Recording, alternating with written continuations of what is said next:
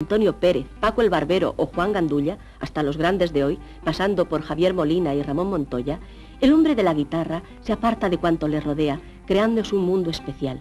como si se envolviese en sombras.